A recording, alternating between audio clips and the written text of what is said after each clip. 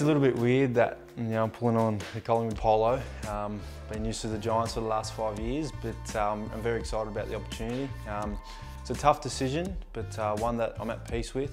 I think it's the best decision for myself and for my family, and uh, I can't wait to get stuck into the pre-season and run out in round one, the MCG, in front of hopefully 90,000 people. it racked our brains quite quite often. Kelsey, my partner, and I, um, we thought about it quite often, um, especially coming towards the end of the year. We knew that we had to really weigh up our options, um, whether we wanted to stay, uh, whether the chance to come back home and being around friends and family was was there. Um, and I think at the end of the day, I think that's what come through. Um, at the end of the day, I always wanted to come back and play in Victoria. I'm around my friends, I'm around my family. I can see them whenever I want. You know, I've got young sister, young brother who I'm super close with, and you know, I've been away from them for five years, and, and I get to go home and see them whenever I want to. I can see my friends whenever I want to, and, and same as Kelsey as well, who gets to see her family and friends whenever she wants. So um, I'm really excited about that. We only really narrowed, narrowed it down to, in all honesty, two teams, and and Collingwood was one we chose, obviously. Um, I think the exciting list that they have, they've got such a young list, uh, a lot of them around my age, um, with some great mix of um, experience with Scott Pendlebury, Dane Swan, guys like that who I can learn off and we can keep getting better through.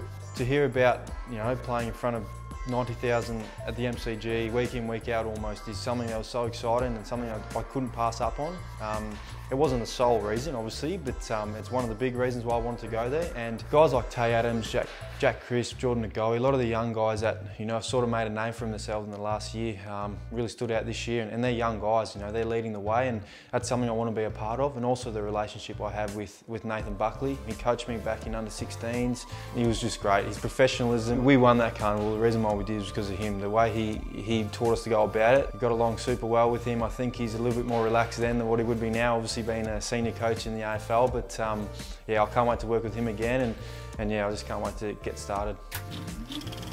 In one of my first games, I, um, I got to play on Scott Pendlebury. It was my best game up until that stage in my career, and I just remember he was playing on me, and, and uh, I don't know why, but he's told me where to run, and I ran, and I got the footy. So uh, yeah, I just followed him, and you know, I thanked him for it. Um, but I think because we've got a lot of respect for each other, him and I. When I made my decision, he was one of the first person I spoke to and he's been great for me already and uh, I can't wait to play under him and learn so much off him and I think hopefully with me being there I can take a little bit of pressure off him and he cops a tag week in, week out. He's a spiritual leader, he's the best player at the footy club so hopefully I can take that pressure away from him and, and the other mids can too as well.